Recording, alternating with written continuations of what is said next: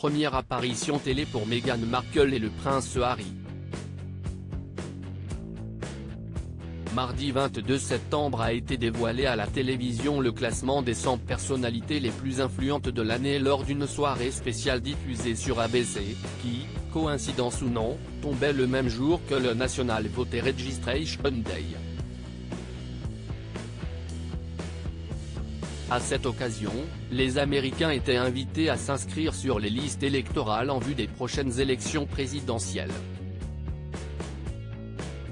et Meghan Markle a lancé un appel au vote. Aux côtés du prince Harry, la duchesse de Sussex a ainsi répété l'importance d'aller voter le 3 novembre prochain, expliquant que lorsque l'on vote, nos valeurs sont mises en action et nos voix sont entendues. Votre voix vous rappelle que vous comptez, car vous le faites et vous méritez d'être entendu, a-t-elle précisé. Installée dans son jardin depuis sa demeure de Montequito, Meghan Markle avait opté pour un look automnal pour cette apparition, avec un pantalon de tailleur noir et une chemise marron.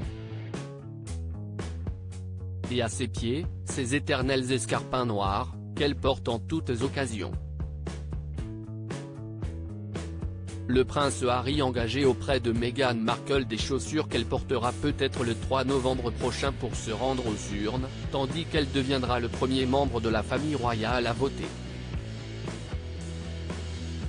Après son entrée chez les Windsor, Meghan Markle n'était en effet pas tenue de faire connaître ses opinions, et se devait de rester politiquement neutre.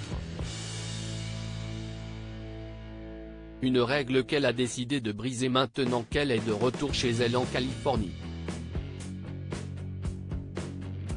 Meghan Markle est rentrée à la maison pour voter, a ainsi expliqué Gloria Steinem à propos de la duchesse. Aux côtés de son épouse, le prince Harry lui a admis qu'il n'avait jamais voté au Royaume-Uni, et que s'il ne pouvait pas non plus voter pour les présidentielles américaines, car citoyen britannique, il a expliqué, et rappelé, combien il est vital que nous rejetions les discours de haine, la désinformation et la négativité en ligne.